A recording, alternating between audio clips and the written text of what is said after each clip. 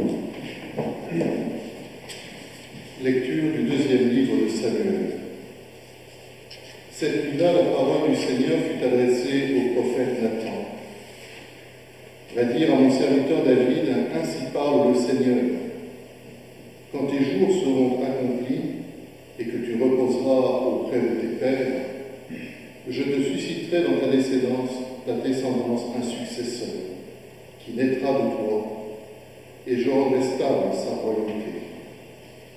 C'est lui qui bâtira une maison pour mon nom et je rendrai stable pour toujours son trône royal. Moi, je serai pour lui un père, et lui sera pour moi un fils. Ta maison et ta royauté subsisteront toujours devant moi, ton trône sera stable pour toujours. Parole du Seigneur. Nous rendons grâce à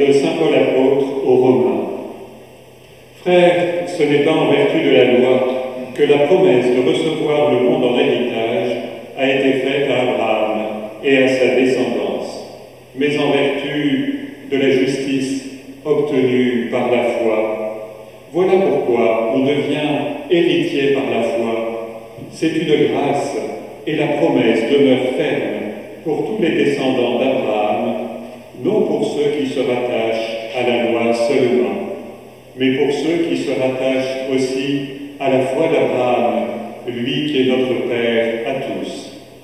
C'est bien ce qui est écrit, j'ai fait de toi le Père d'un grand nombre de nations. Il est notre Père devant Dieu en qui il a cru. Dieu qui donne la vie aux morts et qui appelle à l'existence ce qui n'existe pas. Espérant contre toute espérance, il a cru. Ainsi est-il devenu le Père d'un grand nombre de nations, selon cette parole. Telle sera la descendance que tu auras.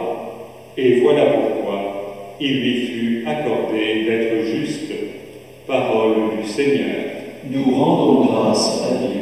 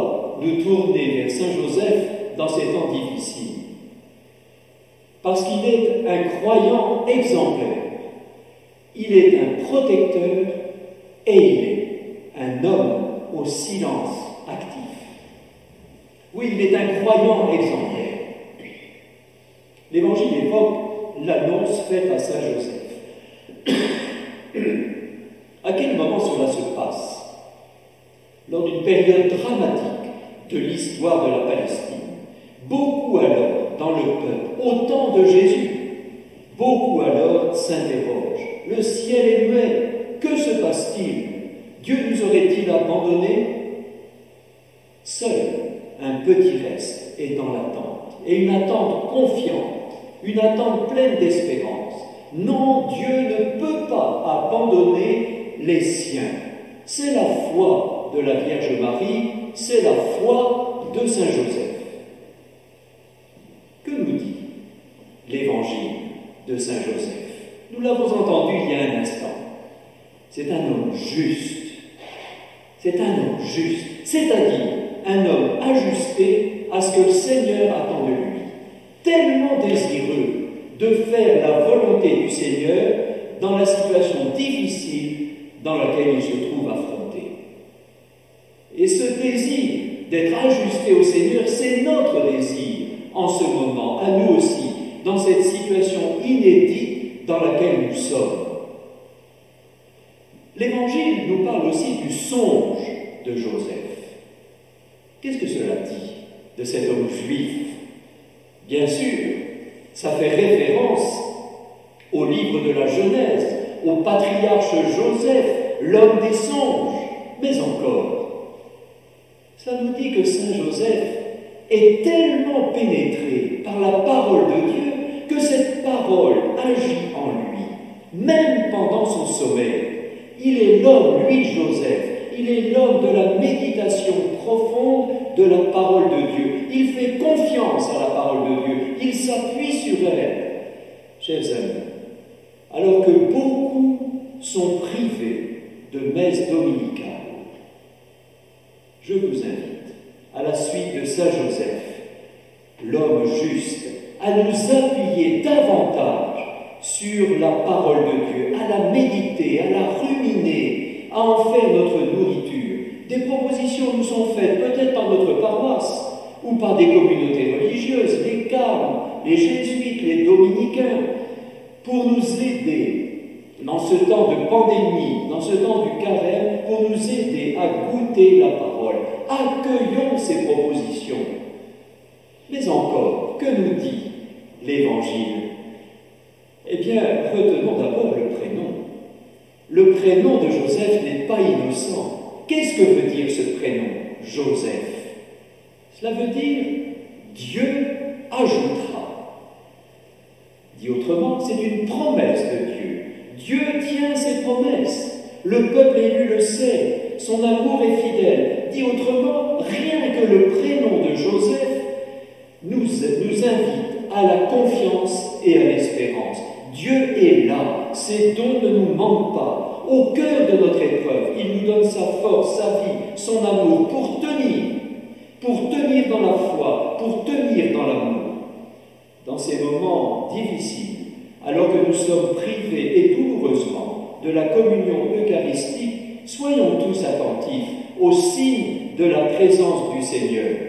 Une phrase d'écriture, par exemple, attire notre attention, retenons-la. La parole d'un frère ou d'une sœur au téléphone nous a consolés, gardons-la en mémoire. Le Seigneur, par eux, sait nous rejoindre. Oui, Saint Joseph, c'est un croyant exemplaire. Il fait confiance au Seigneur. Il est aussi un protecteur. Ne crains pas, Joseph, de prendre chez toi Marie, ton épouse. Saint Joseph, ce sera sa première mission, va veiller sur la Sainte Famille.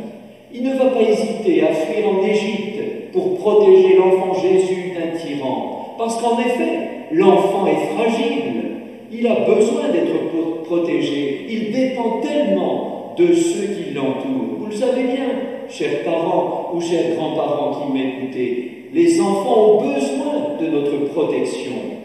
Aujourd'hui, nous invoquons Saint Joseph comme protecteur, protecteur de nos familles d'abord, des familles fragilisées, fragilisées par l'impossibilité d'aller visiter nos aînés, fragilisées car il n'est pas si facile de vivre le télétravail ou le chômage technique avec des enfants confinés à la maison ou dans un appartement étroit, fragilisées par la maladie ou par la fin de vie de l'un de nos membres. Et notre Église aussi est fragilisée, fragilisée par l'impossibilité de nous rassembler et de prier ensemble. Alors ce matin, nous nous tournons tous vers Saint Joseph, protecteur de nos familles, de nos communautés, des personnes en fin de vie, pour les confier à sa prière. La parole concluant l'Évangile est bouleversante de foi. Quand Joseph se réveilla, il fit ce que l'ange lui avait prescrit. Point. C'est tout. Tout est dit. Discrétion de Joseph. Silence de Joseph. Pas une parole de Saint Joseph dans tout l'Évangile, pas une parole, mais des actes. Lui, Joseph, agit. C'est un message pour nous en ce moment de pandémie. Pas trop de discours, des actes. Pas de paroles qui font paniquer ou qui désespèrent il y a besoin davantage de signes d'amour concrets. Une seule question à nous poser en voyant Saint Joseph le taiseux, mais Saint Joseph l'actif. Comment, en ce moment, puis-je aimer davantage? Le pape François nous l'a redit il y a quelques jours. Profitons de ce temps de confinement pour redécouvrir les petits gestes, les petites attentions à avoir envers nos proches. Chers amis, je puis vous l'assurer, nous évêques, qui avec les vicaires généraux sommes en lien avec les différents secteurs du diocèse, nous, nous entendons les initiatives qui sont prises par plusieurs, discrètement mais efficacement, dans nos groupes et dans les paroisses. Non, le corps qu'est l'Église n'est pas moribond, il vit, il est créatif, il est inventif, il est fervent, il est solidaire. J'ai l'écho de chaînes de prière, j'ai l'écho de gestes concrets d'attention aux autres et en particulier aux plus fragiles et à nos voisins. Bien sûr, nous devons respecter les consignes de confinement, mais depuis nos appartements, depuis nos maisons, nous sommes toujours l'Église en sortie, soucieuse des plus fragiles d'entre nous. Alors, en cette fête de Saint-Joseph et dans cette Eucharistie, célébrons-le avec ferveur et supplions Saint-Joseph pour notre Église et pour notre monde.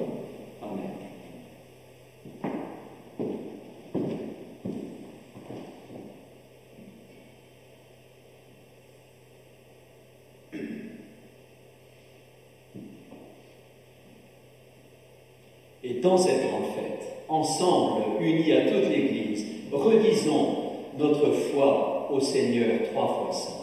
Je crois en Dieu, le Père Tout-Puissant, Créateur du ciel et de la terre, et en Jésus-Christ, son Fils unique, notre Seigneur, qui a été conçu du Saint-Esprit, est né de la Vierge Marie, a souffert sous Ponce a été crucifié, est mort et a été enseveli, est descendu aux enfers. Le troisième jour est ressuscité des morts, est monté aux cieux, est assis à la droite de Dieu, le Père Tout-Puissant, d'où il viendra juger les vivants et les morts. Je crois en l'Esprit Saint, à la Sainte Église catholique, à la communion des saints, à la rémission des péchés, à la résurrection de la chair à la vie éternelle. Amen.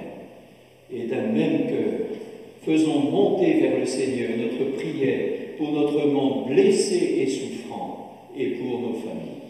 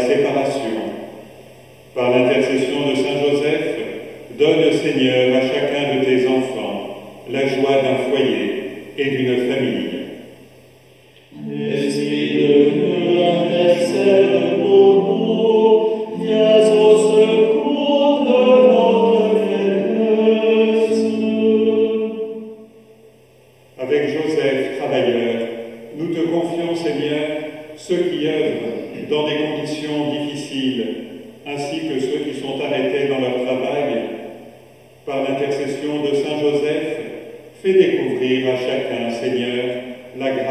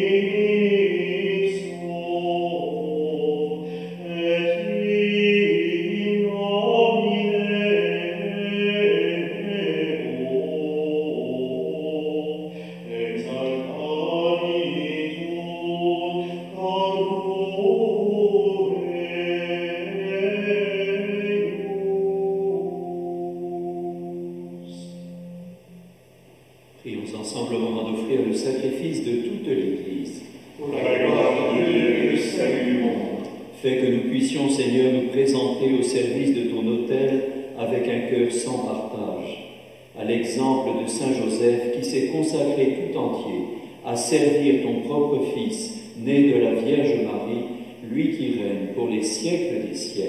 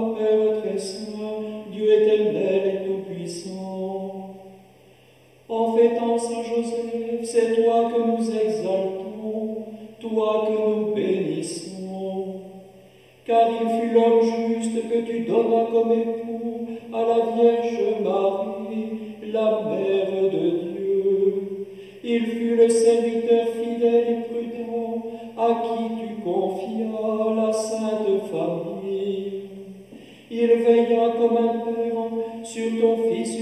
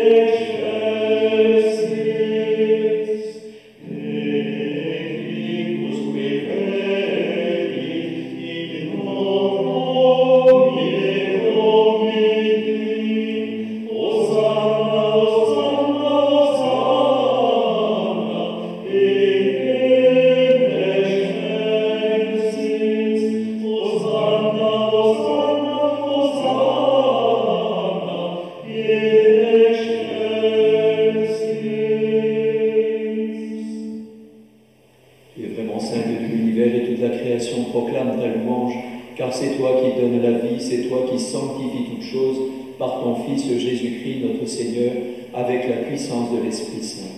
Et tu ne cesses de rassembler ton peuple, afin qu'il te présente partout dans le monde une offrande pure.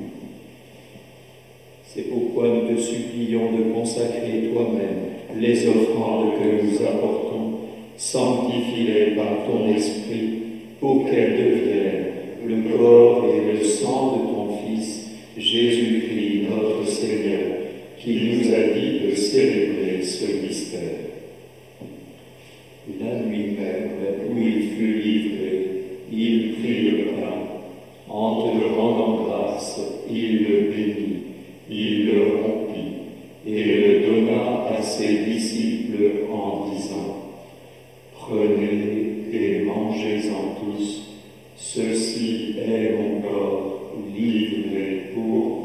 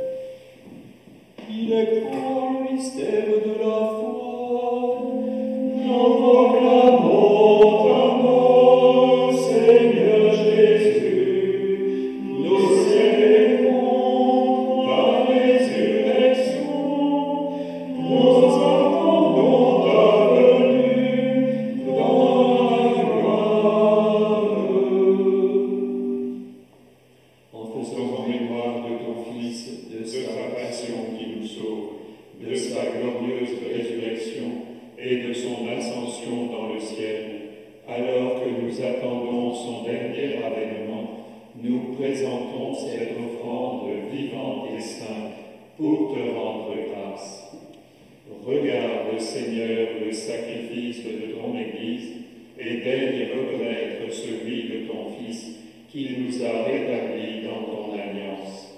Quand nous serons nourris de son corps et de son sang, et remplis de l'Esprit Saint, accorde-nous d'être un seul corps et un seul esprit dans le Christ. Que l'Esprit Saint fasse de nous une éternelle offrande à ta gloire, pour que nous obtenions un jour les biens du monde à venir, auprès de la Vierge Marie,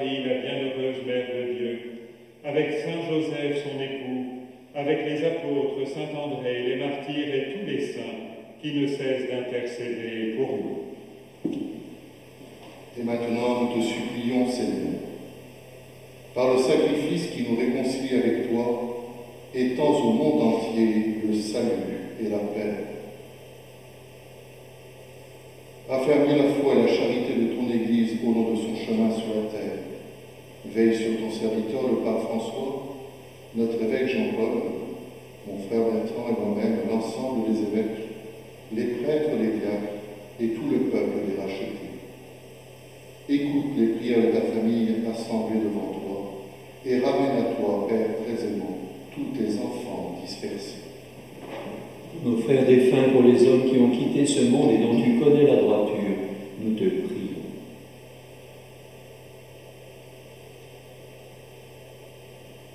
Reçois-les dans ton royaume où nous espérons être comblés de ta gloire, tous ensemble et pour l'éternité, par le Christ notre Seigneur, par qui tu donnes au monde toute grâce et tout bien.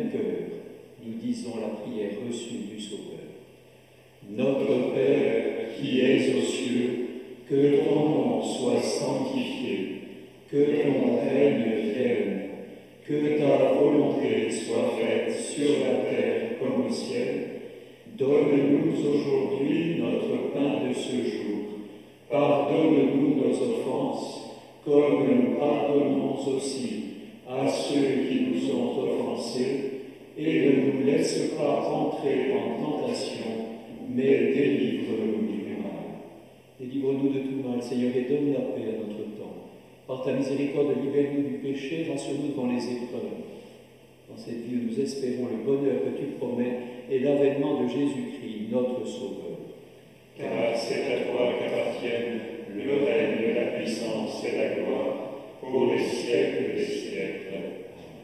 Seigneur Jésus-Christ, tu as dit à tes apôtres, je vous laisse la paix, je vous donne ma paix. Ne regarde pas nos péchés, mais la foi de ton Église, et pour que ta volonté s'accomplisse, donne-lui toujours cette paix conduis-la vers l'unité parfaite, toi qui règnes pour les siècles des siècles. Que la paix du Seigneur soit toujours avec vous. Et avec votre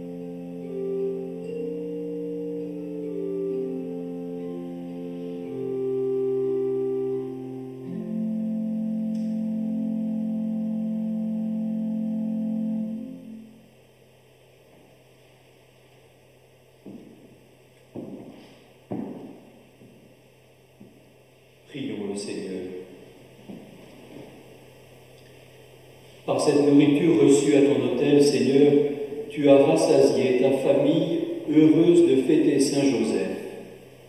Garde-la toujours sous ta protection et veille sur les dons que tu lui as faits par Jésus, le Christ, notre Seigneur. Amen.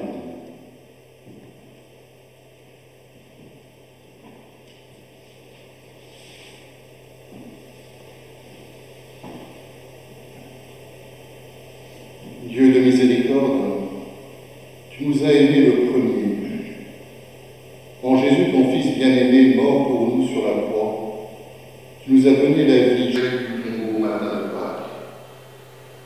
Tu as fait de nous tes fils, unis dans l'unique corps de Jésus-Christ. Nous te rendons grâce pour sa résurrection. En ces jours, nous revivons le chemin vers Pâques, nous crions vers toi.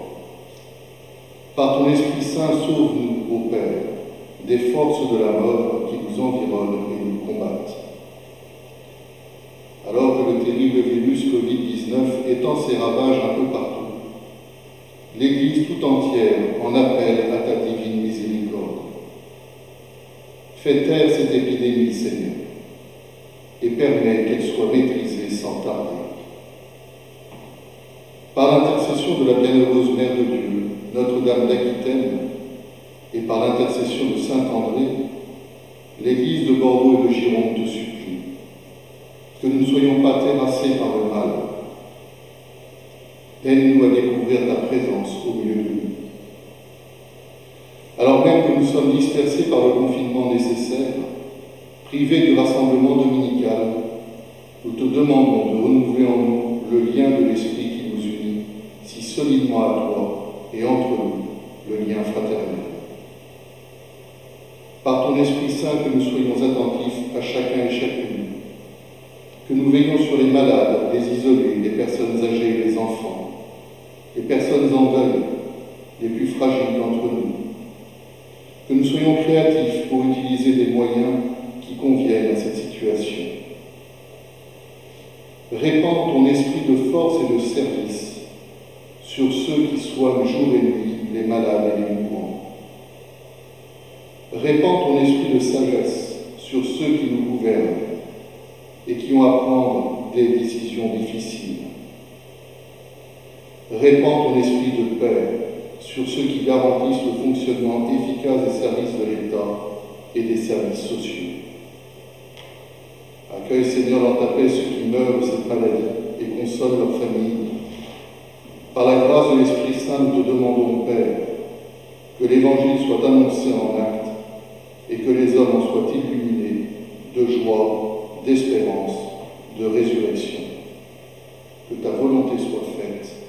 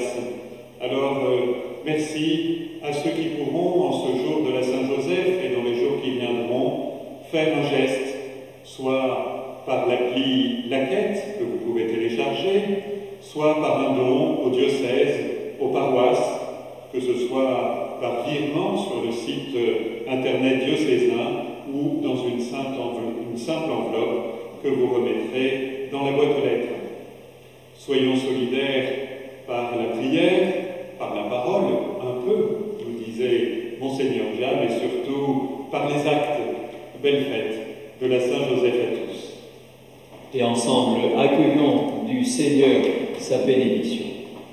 Le Seigneur soit avec vous. Et avec votre